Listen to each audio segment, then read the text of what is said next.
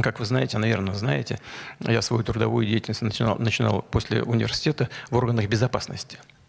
И очень быстро э, начал работать э, в э, советской внешней разведке. Я помню, сидел э, рядом со мной в кабинете, рядом, в соседнем кабинете, работал человек уже такой пожилой, Сан Саныч мы его звали. Да. Но он, э, Сан Саныч, работал в соседнем кабинете, но до этого 25 лет отработал на нелегальной работе за границей. В качестве разведчика-нелегала. Чтобы было понятно, разведчик-нелегал, он не прикрыт дипломатическим паспортом. И каждый день он рискует а, свободой, здоровьем, а может быть и жизнью. Вот человек отработал 25 лет. Я его как-то спрашиваю, набрался смелости. Говорю, Сан Саныч, а вам не обидно, я почти начинающий молодой человек, а вы 25 лет в нелегалке, и сидите со мной рядышком. Вы же должны быть где-то там.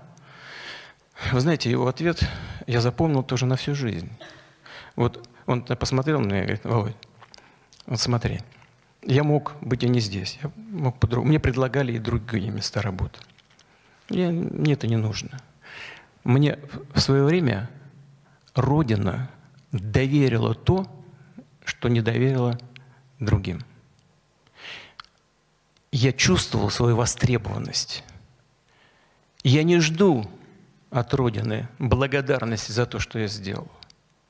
Я благодарен Родине за то, что она дала мне возможность так работать и быть таким востребованным, и реализоваться – я благодарен ей и не жду благодарности от нее.